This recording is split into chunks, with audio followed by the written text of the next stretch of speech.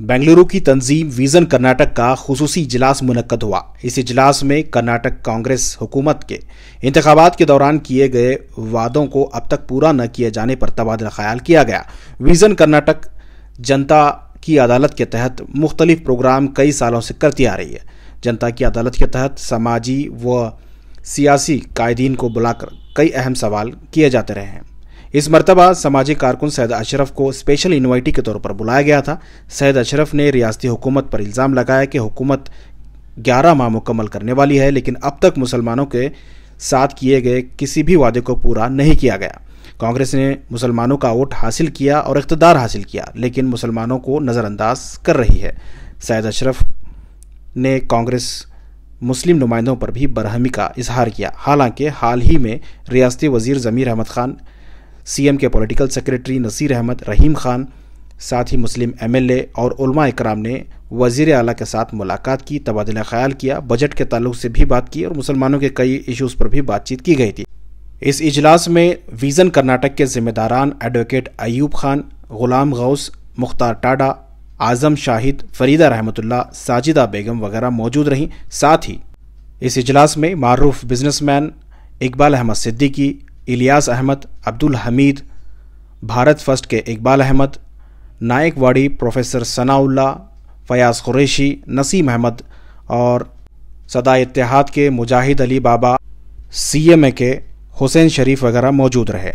इस इजलास में विज़न कर्नाटक के ज़िम्मेदारान और आए हुए तमाम मेहमानों ने भी अपनी बात रखी। तमाम लोगों ने कई अहम मशवरे दिए।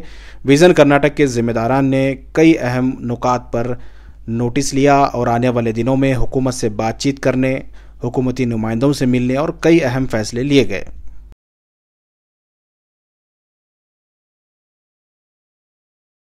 सारे हम और हम लोग जो है ना, ये ब्लॉक जो है ना eighty eighty percent ninety percent road करते हैं हम लोग। लेकिन हम पीछे क्यों जब तक हमारे पर दबाव दे डालेंगे, हमारा कुछ होने वाला कम्युनिटी एडवाइज़री बोर्ड जिस तरह आप जानते हैं कि ये एक नुमाइंदा इदारा है, जिसमें बेंगलोर शहर में जितने भी मुस्लिम इदारे हैं, रजाकारान इदारे, उसकी एक तंजीम है। पहला फ़ैसला ये लिया गया कि जितने भी हमारे मुस्लिम नुमाइंदे असम्बली में हैं, काउंसिल में हैं, पार्लियामेंट में हैं, उनके साथ तबादले ख्याल किया जाए, उन्हें बताया जाए कि मुस्लिम कम्युनिटी को कर्नाटक में क्या क्या मसाइल दरपेश हैं, उसके हल के लिए उन्हें क्या रास्ता इख्तियार करना है?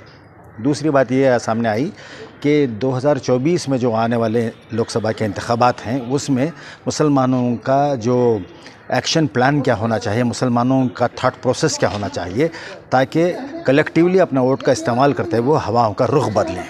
और भी बहुत सी बातें सामने यहाँ पर आई हैं कि ये सिलसिले में भी बात आई कि कितने सीटें होनी चाहिए लोकसभा इलेक्शन में। जी जी। ये बात भी आई है। हाँ अभी तक इस पर काफ़ी तफसीली गुफ्तु नहीं हो पाई। ये फ़ैसला किया गया है कि अनखरीब यानी रमज़ान मुबारक की आमद से पहले ही एक खसूसी तौर पर फिर एक बैठक होगी। इसमें जो सवाल आप कर रहे हैं उन मौजूद पर गुफ्तु होगी। और कुछ बताना चाह? रहे दूसरा यह है कि आज जिस तरीके से हम मुस्लिम माशरा जो है, मैं जिस तरह ने, मैंने महसूस किया कि एक जजीरों की तरह आपस में बटा हुआ है। हमारे पास वो शराजा बंदी नहीं है। इस लिहाज से मुझे नहीं लगता कि हमारी आवाज़ जो है ऐवान इकतदार तक मनज़म तौर पर पहुँच रही है।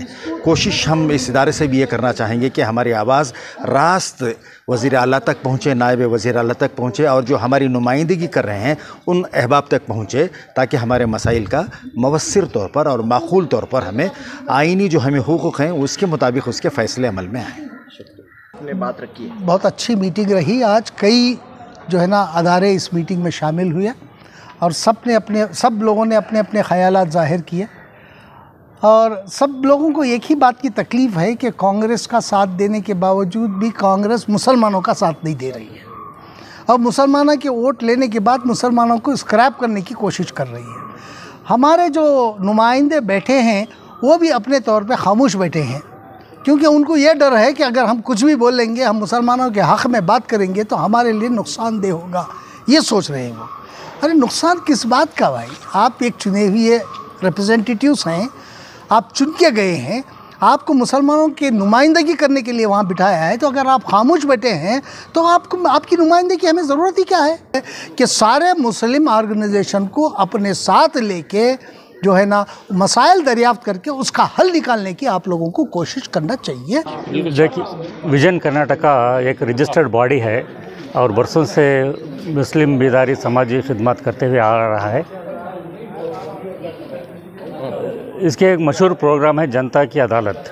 इसके ज़रिए भी जो सियासी लीडरान हैं, उनको बुलाकर कटरे में बिठाकर जो सवाल कौम मिलत पूछना चाहती है, मगर पूछ नहीं पाती, वैसे सवाल पूछ कर हिसाब दही का ये कर रहे थे, उनसे एहतसाब कर रहे थे अकाउंटेबिलिटी कर रहे थे।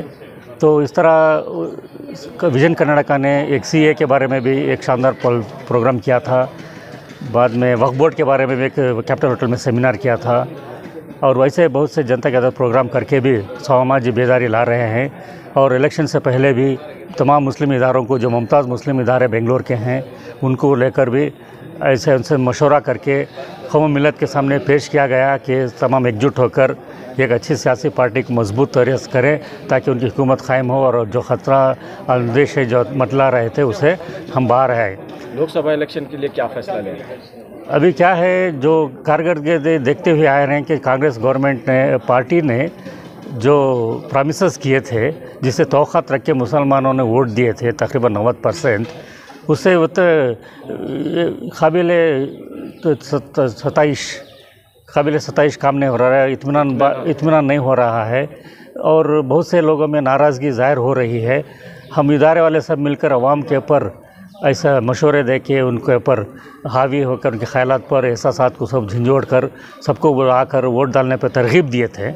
अब देख रहे हैं कि पाँच छः महीने होने के बावजूद कोई ख़ास काम नहीं हो रहा है, मुसलमानों के हक़ की हिफाजत नहीं हो पा रही है, उनको उनका जायज़ मकाम नहीं मिल रहा है, उनके मुतालबात पूरे नहीं हो रहे हैं, कहीं ना कहीं नाराज़गी है।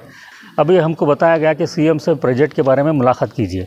कोई सीरियस से बातचीत नहीं हो पाई, सिर्फ़ हमारा एक इदारा है, विजन कर्नाटका, इसने एक लेटर तैयार करके रेटिंग में दिया। इदारे का नाम भी बताया उसकी तफसीत भी बताया इसका पस मंज़र भी बताया गया। इसके साथ हमने मतालबात भी जो बहुत फ़ायदेमंद हैं जो तमाम इदारों वालों की सोच है इस हिसाब से हमने इदारों का जो मुतालबात हैं ये मुतालबात नहीं अपना हक़ है ये। कोई ग्रांट्स नहीं मान रहे कोई ये नहीं अपना हक़ मान रहे हैं कि समाज में हमारा भी हिस्सा है। यहाँ के रिसोर्स पे हमारे हिस्सा मेमोरेंडम दिया। गया मगर इसको बहुत तो क्या बोलते हैं बड़े बेज़ती से कबूल किया गया। हमको पढ़ के तीन मिनट का काम था तीन घंटे वेट किए तीन लोग गए थे हम उनके जबते की पाबंदी करते हुए। तीन मिनट कब मुलाकात हुई थी? कल यानी पीर को हाँ। ग्यारह तारीख क्या था? बारह तारीख। है ना? हाँ बारह तारीख। बारह तारीख। बारह तारीख को विधानसभा में बारह फरवरी को विधानसभा में सीएम से मुलाकात के से पाँच बजे बुलाया गया था। आठ बजे तक चला प्रोग्राम, मगर साढ़े सात से आठ बजे ही मुलाकात हो कोई उसमें तमाम दीगर माइनॉरिटीज़ को बखूबी सुना गया। तफसील से सुना गया, उनके मुतालबात भी डिमांड्स लिए गए। उनके साथ फ़ोटो खिंचा के सब बोल के वो खुश करके उनको अश्योरेंस दे के भेजा गया। मगर मुस्लिम तबक़ात का आखिरी में नंबर आया, जबकि हम लार्जेस्ट माइनॉरिटी है, वहाँ पे ऐसा लगा कि जो माइनर के माइनॉरिटी हैं, उनको ज़्यादा अहमियत दी गई और हमारे जो मेजॉरिटी उसको नहीं दी गई। और लास्ट में सिर्फ़ पाँच मिनट में ख़त्म कर दिया गया। दो मौलाना को बोलने का मौका दिया गया और एक इदारे को बोलने का मौका, वो सब दो दो मिनट एक एक मिनट बोल दिए। और हम तैयारी से संजीदगी से तमाम इदारों का एक नुमाइंदा बनकर, विजन कर्नाटका तमाम मुस्लिम ऑर्गेनाइजेशन लेकर गौर खोज करके समाजी काम करते हैं, जहनी बेदारी लाते हैं पूर्व वखर ज़िंदगी करने के तरीके बताते हैं। ये मुतालबात लेकर पेश किए है तो भी इसको हमको बोलने का मौका नहीं दिया, तीन मिनट भी बोलने का मौका नहीं दिया, जबकि हम तीन घंटे इंतज़ार करते रहे। मिला के पूरे जो भी कंसोलिडेट और उसको सेग्रीगेट करके अलग अलग मिनिस्टर के पास जाएँगे। एक कमेटी बनाइए तीन चार पाँच आदमी जितने भी आप मुनासिब समझते हैं ये कमेटी बना के वो कमेटी जाएगी वो मिनिस्टर के पास बैठेगी। बंगारप्पा हो गया दूसरा women's and child welfare minister है एजुकेशन मिनिस्टर है।